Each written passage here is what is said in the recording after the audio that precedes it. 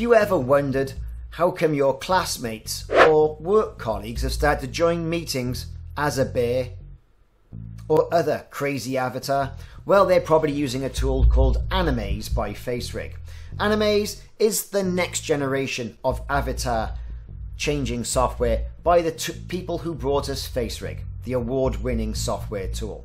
I'm going to show you how you can use your avatars in Zoom to bring a bit of spice to your meetings or mundane classroom activities. Maze is available on Steam and is the successor to the very successful FaceRig program, which also replaced your face with that of a comedy or animated avatar. FaceRig is free to use, and as a result of which, you can get in there straight away. If you are a FaceRig owner, then there is currently a discount that will be available to Animaze users off subscription services. Now inject a little bit of fun into your meetings or your distance learning if you're in school or in having distance learning classes. So Animaze by FaceRig can do this with a multitude of uh, meeting programs such as Microsoft Teams, Google Meet, uh, Cisco, WebEx, Cisco WebEx Teams. The list goes on. BlueJeans. Um, but how do you do it? So with Animaze, you get a number of avatars. Some avatars you have to pay for, some avatars come free. So how do you configure your avatar with size on the screen, props and things like that where you can inject a little bit of fun into your meetings. So at the beginning what we said was we would set our avatar for Donald Trump. Donald Trump is a paid avatar for 399 coins uh, and you can buy coins by clicking on that item. There's obviously a subscription as well. You can buy coin packs and there's a subscription and dollar amount there as well to supercharge your experience. But enough of that. I've already bought the Donald Trump avatar. There it is. We're going to select that. You click on confirm and then Animaze loads that character in. Here it comes. And there he is. Um, a caricature or avatar of Donald Trump. And certainly no disrespect is made uh, or intended. So here we go. Uh, we've confirmed that. Let's close that down. We can see that my face is being tracked with the dots around my jawline, around my mouth, my nose, and my eyes as well. So that's exactly what the computer is seeing. If for any reason you're having problems and the avatar is not operating as normal, click on Calibrate or press Control and C. Clicking on Calibrate brings up this screen again. It's picking up the dots around my facial features. Look directly at your webcam or iOS device, click Calibrate, neutral expression, good calibration, and your avatar should resolve any issues that it has. Now, with your mouse, if using this on a PC, you can use the mouse wheel to enlarge or shrink your avatar. Okay.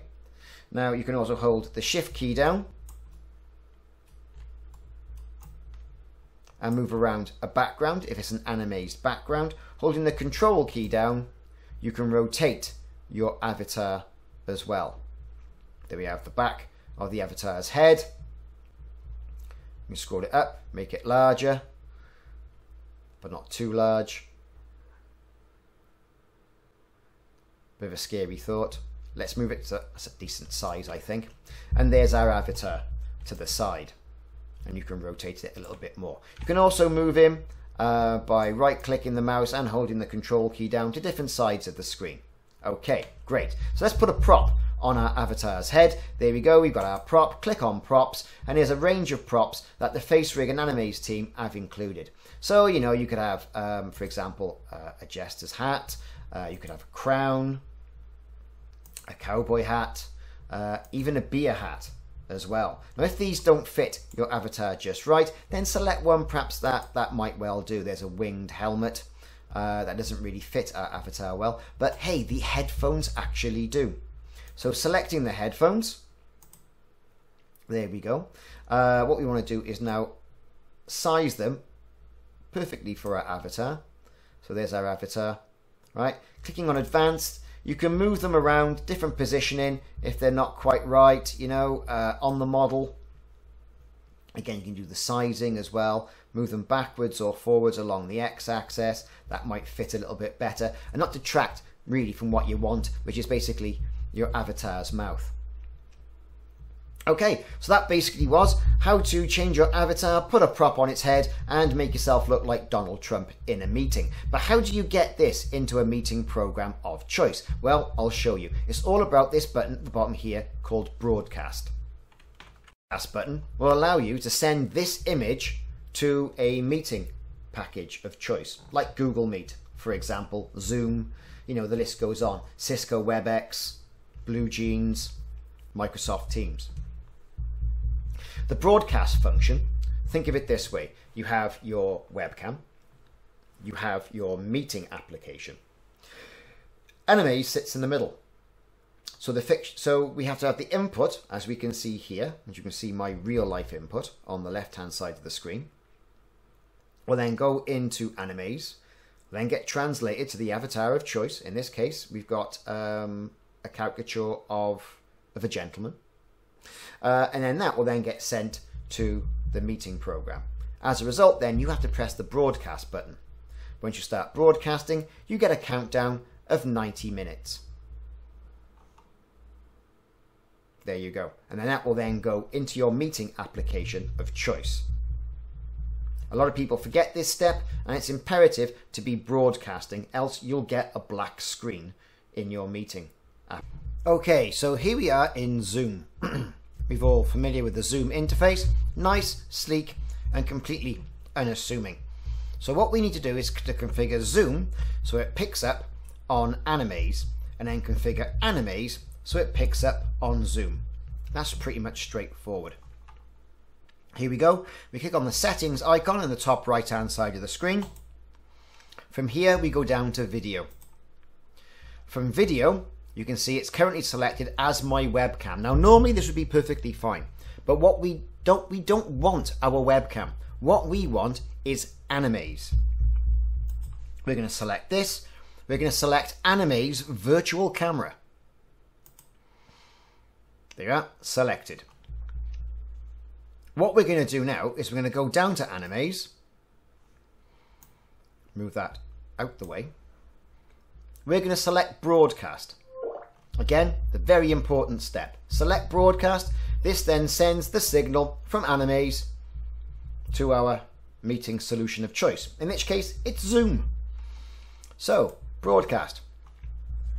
And you can see virtually instantaneously what we can see in the Zoom preview window is what we can see in the Animaze window.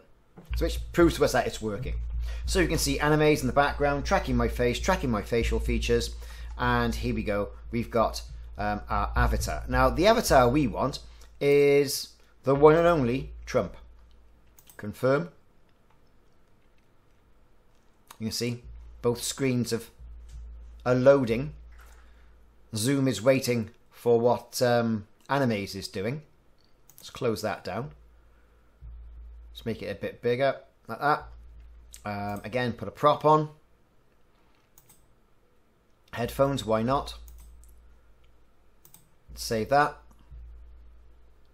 And you can see our avatar of Trump now has headphones on. So what we're going to do, right, we're going to, we're okay with this now. This is all working. Is our Zoom window. Going to close that down. We're going to say new meeting, just to start an ad hoc meeting. We can say straight away we've connected and there is our avatar. Now, if at any time uh, it's not tracking your face correctly, pop into Animaze, calibrate, Control C, hit the calibrate button, and there you go. Now it's starting to track my mouth nicely. And then back into your meeting, you can see the mouth is moving, eyebrows are moving. As I turn, it turns. No dramas at all whatsoever. Now, as you can see, this is the background that I'm using uh, in regards to Animaze. Zoom also has its own background as well, which you can set should you want to. Now, turning this off is a slightly different process. First of all, I suggest you stop your video. Still remain in the meeting. You then go to Animaze, stop broadcasting. That's very important. And then what I tend to do, just to be sure, on the safe side, I then close down Animaze. That means there's no input going towards the webcam. Okay? You close that. And then back into Zoom. And then starting our video meeting.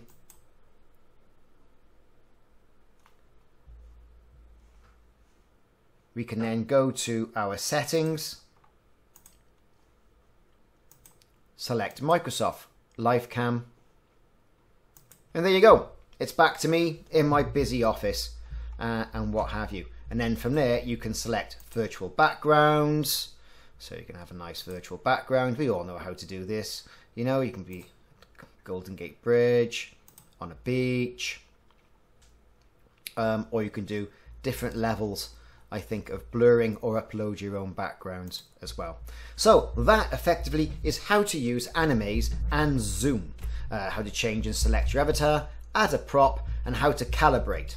And we also use the most important feature of all of this, or it won't work, which is broadcast. I hope you've enjoyed the video on how to use Animaze and Zoom to make those meetings a little less boring and to make those class and distance learning a little bit more fun. Let me know in the comments how you get on. Like and subscribe if you haven't already done so, and check back for more videos in the series. I've got videos out on all the applications in regards to using Animaze for them and some of the old FaceRig stuff as well. See you soon.